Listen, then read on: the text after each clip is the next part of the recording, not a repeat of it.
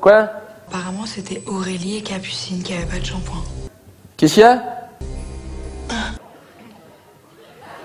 Allô